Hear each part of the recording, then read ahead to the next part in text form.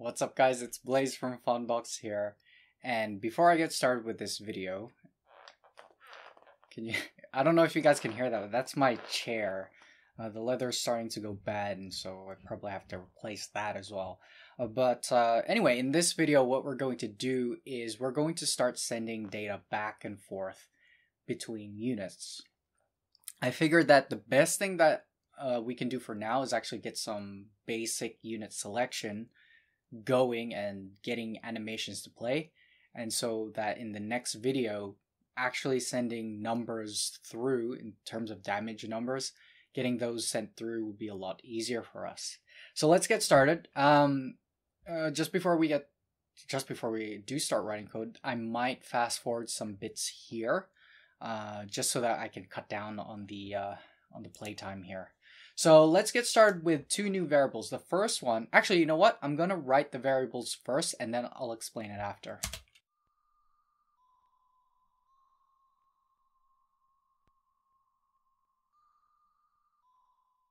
All right, so with these two, wait, what's that? Okay, that's fine. With these two variables, we are going to, with this one anyway, we are going to control our step event even more than we already are. Um, and so we know that we have a process phase here, and this flag will control whether we can go past that phase or not. This one here will actually be the target that we are going to attack. For now, we are just going to set it to just some random unit, or not a random unit, it'll just be a unit that we pull from the list. And Eventually it'll be replaced with another list, but for now, just to get the base functionality in, we will just leave it as a single ID. All right, so in our step event, what we're going to do is go down to process, which I'm already at, which is good. And we're going to take this variable here. And like I said, we're going to use it to control the process phase. And basically all it is is if process finish, then we go into the next phase, which is check finish.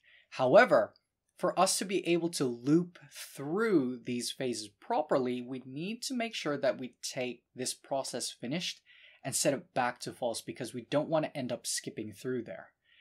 For that, you can choose to do it either in check finish or end turn. It's completely up to you. For me, however, I'm going to put my uh, flag here and check finish. And so process finished. We're just going to set it to false and that's it. All right, that that that should be everything that we need to do for step. Uh, let's go ahead and go into the GUI just so that we can debug which unit is being selected, right? So that we know.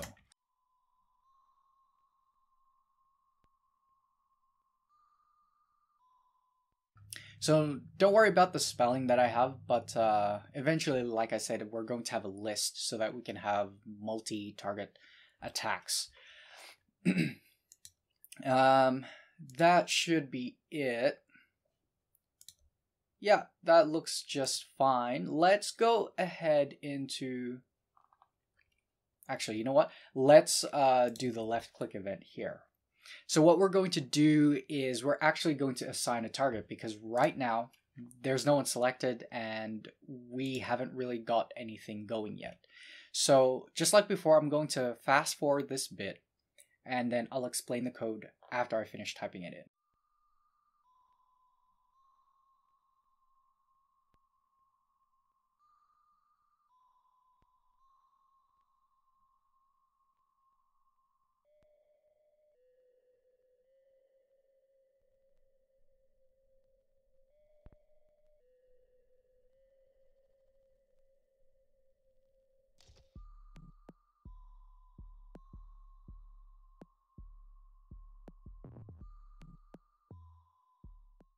All right, so that looks good. Let me just check that. Yeah, it looks good. So we're going to run a loop where we go through the entire unit's list.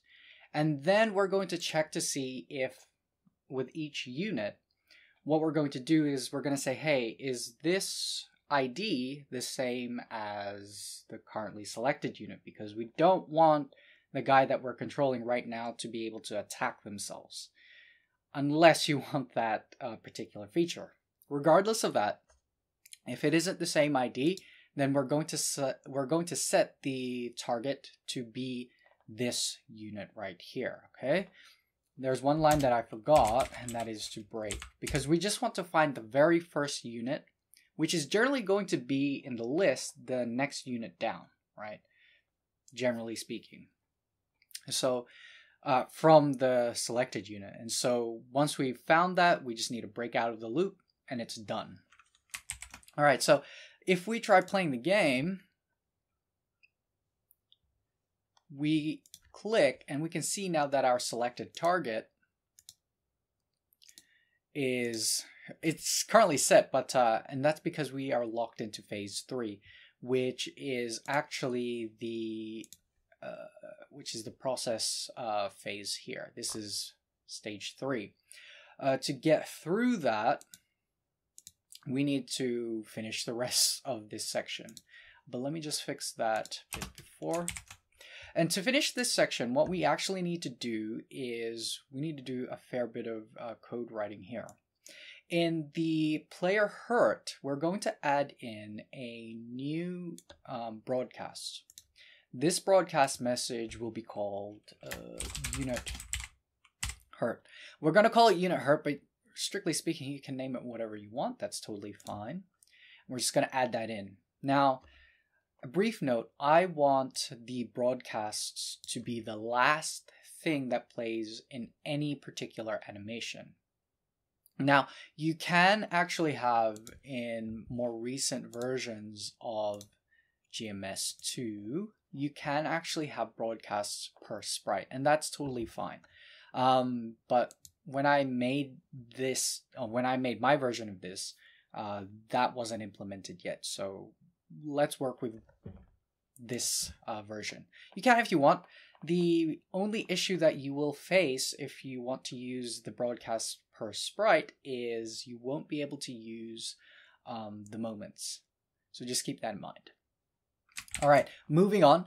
We have the unit hurt uh, broadcast now. And so for our broadcast message, we need to create a new case. And so for this case, we're going to say for unit hurt, um, it's just going to be a single line and it's process finished. We're just going to set that to true, just like that. All done. So, well, we're not done yet. We're not done yet. So the next step is to go into our helper script. Here we're going to call a, we're going to write a new function here. Uh, this function, we'll call it unit attack. It's going to take no parameters. And just like I did with the for loop before, I'm going to fast forward this section and then explain everything after I finish typing it out.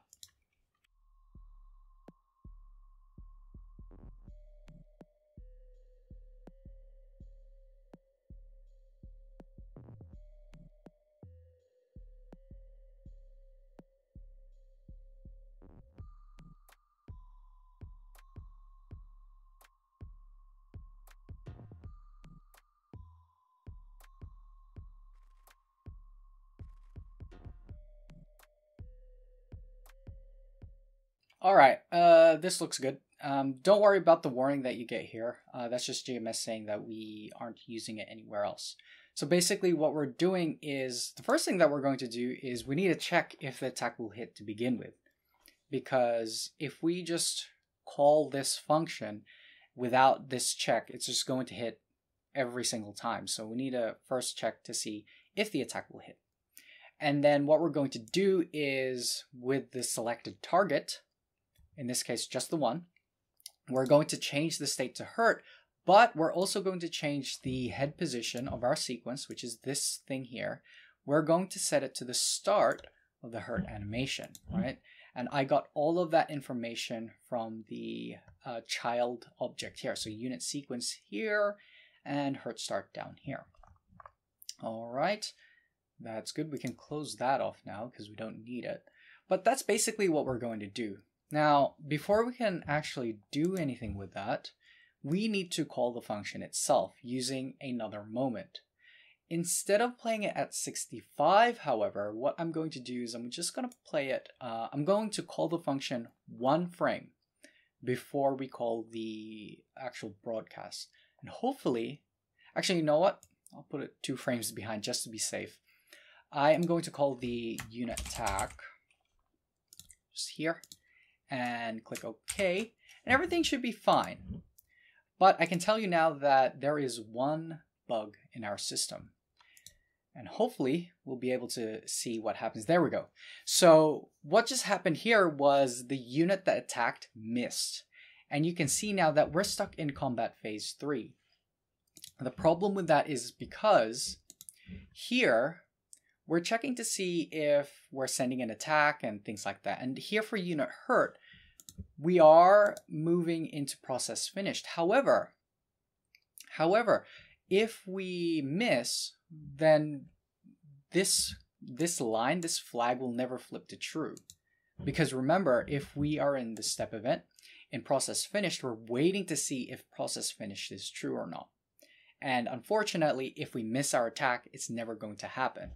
So what we're going to do here is in the broadcast message, we are going to flip the uh, this process finish to true if we miss, right? So again, I'm going to fast forward this section, type it out, and then I'll explain it after.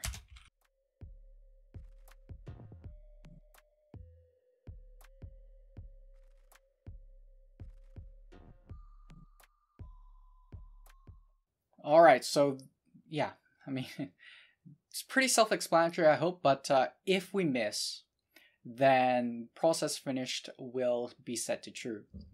Eventually, we could of course just uh, use player miss, the miss animation here, and just send um, that flag, uh, flip that flag uh, through there. But for now, let's just uh, keep it simple. I just want to keep it simple, and eventually we'll come back and clean this up a bit more. For now, we'll just leave it here, where basically we check if the attack will hit, then process finished will be set to true. Let's try playing the game now, and hopefully, every time a new a uh, new unit is selected, then we have the green arrow and the phase will be at 2. Okay, everything seems to work just fine. Occasionally they'll miss and occasionally they'll hit, which is good.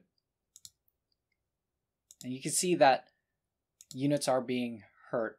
And yeah, like I said before, it's generally going to be the target for now is going to be the unit that's basically next in line in the list. Or in the case of it being the last unit here, it's going to be at the very top. But that's totally fine.